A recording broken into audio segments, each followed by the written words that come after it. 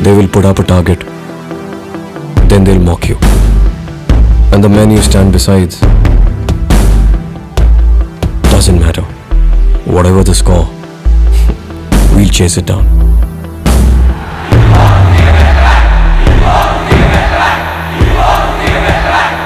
ICC Cricket World Cup 2015 starts 14th Feb live on the Star Sports Network.